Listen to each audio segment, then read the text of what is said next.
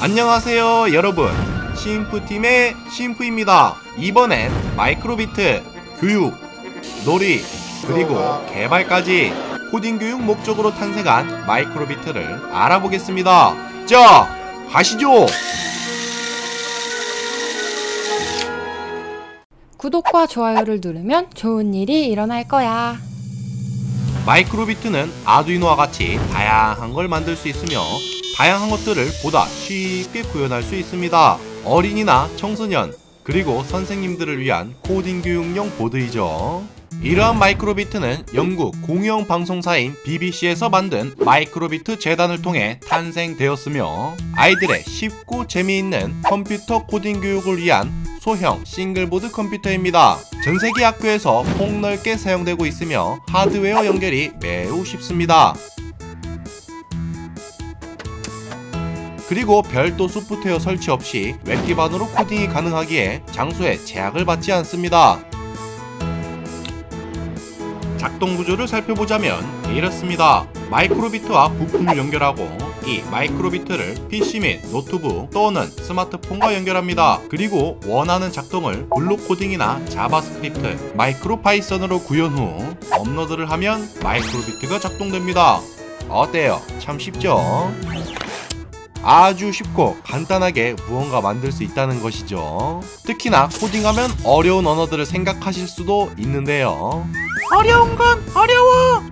마이크로비트는 블록 코딩으로 작성이 가능하기 때문에 매우 매우 쉽습니다. 또한 코딩을 처음 입문하시려는 대학생들이나 선생님들에게도 큰 도움이 됩니다. 마이크로비트로 구현한 것들을 간단히 보자면 이러한 것들이 있습니다.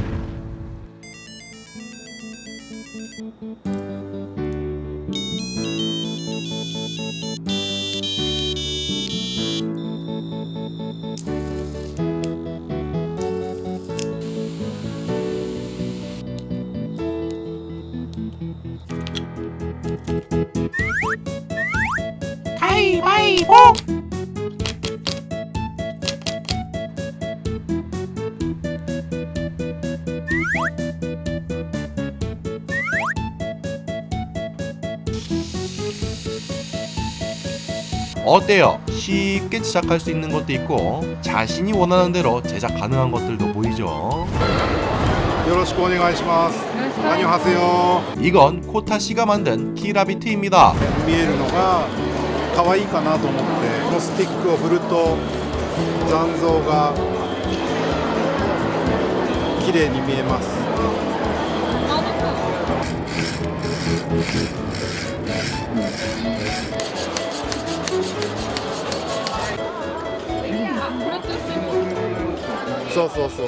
휘두르고 돌리며 즐길 수 있는 체검이죠. 어때요? 신기방기하죠? 신기방기하면 뭐다? 신방하다. 이러한 마이크로비트는 영국 BBC에서 코딩 교육으로 시작해 암홀딩스, 삼성, 마이크로소프트, 노르딕 반도체, 파이썬 등 다양한 협력사들과 공동 개발하였습니다. 마이크로 비트는 저렴하고 작고 다루기 쉽습니다. 그리고 직접 프로그램을 만들고 하드웨어가 어떻게 동작하는지 체험해보는 컴퓨터 과학의 대표적인 교구로 활용되고 있습니다.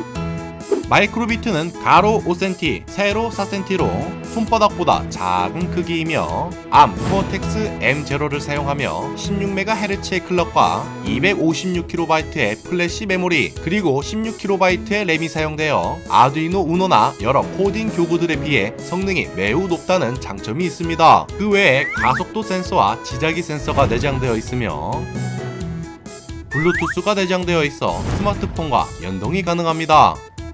라디오 통신 칩도 내장되어 있어 RC카나 무선 통신 같은 것도 할 수 있죠.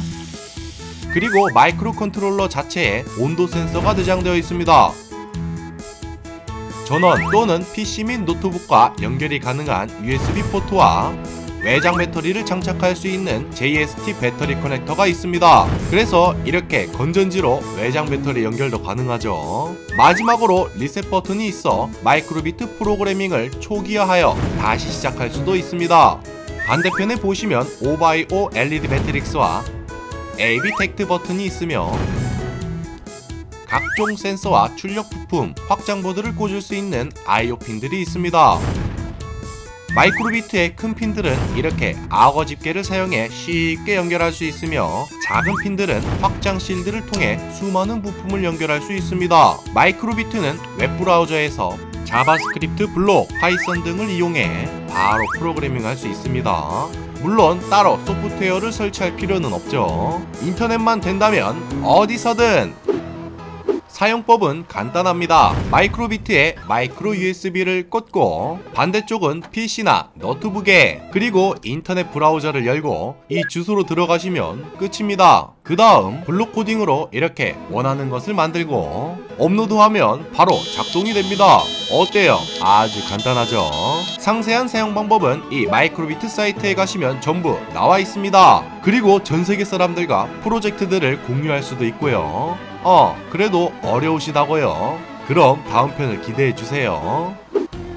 꿀팁을 몇 가지 알려드리자면 마이크로비트는 건전지로 작동시킬 수도 있고 스마트폰 보조 배터리로도 작동시킬 수 있습니다. 꿀팁이죠. 그리고 무엇보다 마이크로비트는 스마트폰과 블루투스 연결을 하면 스마트폰에서도 PC나 노트북처럼 코딩 및 업로드가 가능합니다. 즉, 장소에 구애받지 않고 언제 어디서나 코딩 교육이 가능하다는 것이죠. 가끔은 야외에서 와이파이가 터지는 곳에 돗자리를 깔고 코딩을 해보는 것은 어떨까요? 마이크로비트는 이 하나만 있어도 다양한 것들을 구현할 수 있지만 지니어스 키트나 다양한 부품들을 연동시켜 사용하시면 더욱 멋진 것들을 만들 수가 있습니다. 이러한 초간단 RC카 키트인 링비트카도 있습니다.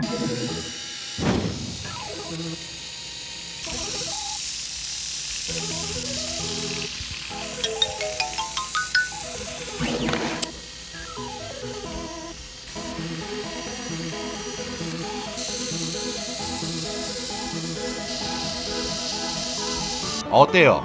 괜찮죠? 대부분 아두이노 키트보다 저렴하게 구매하실 수 있으며 모든 키트엔 설명서들이 포함되어 있어 어렵지 않게 제작하실 수 있습니다. 마이크로비트와 다양한 키트들은 IC뱅크에서 쉽고 저렴하게 구매하실 수 있습니다. 마이크로비트와 관련된 것들이 나오죠. 총 정리를 하자면 마이크로비트는 영국 BBC에서 마이크로비트 재단을 세워 아이들의 코딩 교육을 위해 다양한 회사들과 협력하여 만들어졌습니다. 일반적인 아두이노나 다른 코딩 교구보다 성능이 좋으며 상상하던 것을 매우 쉽게 직관적으로 구현할 수 있게 제작되었습니다. RC카라던가 악기라던가 여러 장치들을 말이죠. PC나 노트북 또는 스마트폰만 있다면 언제 어디서든 별도의 소프트웨어 설치 없이 웹브라우저에서 코딩 후 바로 업로드가 가능하여 복잡하지 않으며 학교 교육에 특화되어 있습니다. 실제로 전 세계의 수많은 학교가 아이들 코딩 교육 목적으로 사용하고 있습니다. 자, 여러분 이번엔 마이크로비트에 대해서 알아봤는데요. 어떤가요? 어린이나 청소년들을 위한 코딩 교육 또는 놀이용으로 딱이죠. 무엇보다 저렴하고 상상하던 것을 쉽게 구현할 수 있습니다. 그동안 코딩이라는 것이 너무 어려우셨다면 이것으로 입문을 시작해보세요. 구독과 좋아요 꾹! 싱크TV 사용하는 플랫폼 자세한 주소는 유튜브 설명란 또는 댓글을 참고해주세요. 자, 여러분 다음에 만나요. 안녕